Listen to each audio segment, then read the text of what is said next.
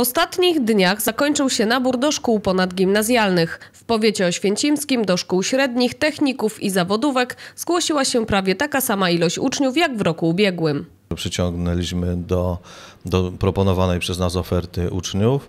E, Mamy na poziomie roku ubiegłego liczbę uczniów, co e, przy niżu demograficznym e, no, wskazuje na to, że, że ten wynik naborowy można uznać za, za zadowalający. Niestety są i takie szkoły, które z niżem demograficznym nie mogą sobie poradzić. Przykładem jest PZ numer 8 w Chełmku.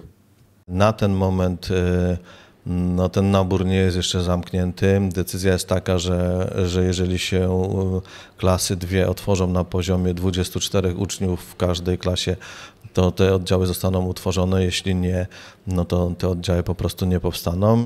Są również takie placówki, które trafiły w dziesiątkę ze swoją ofertą edukacyjną.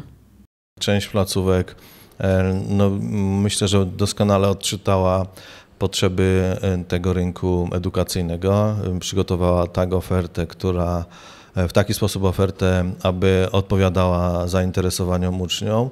A mm, takim przykładem są dwie szkoły, to jest trójka tutaj w Oświęcimiu i dziewiątka dąbrowska w Kętach. Otworzymy wszystkie trzy profile, które zaproponowaliśmy. Y, Każdy, kto chciał y, do, y, uczyć się określonych przedmiotów na poziomie rozszerzonym, będzie się tych przedmiotów uczył. Także generalnie możemy powiedzieć, że, no, że jest dobrze. Ilość osób przyjętych do klas pierwszych nam się nie zmniejszyła, co już jest sukcesem, a wręcz co roku mamy o kilka osób więcej. Szkoła zyskuje coraz to większe jak gdyby poparcie wśród rodziców, wśród uczniów. Więc myślę, że ten kierunek, który obraliśmy parę lat temu, a więc takie lekkie sprofilowanie na e, sprawy artystyczne, czyli na e, sprawy teatralne i filmowe, no już owocuje.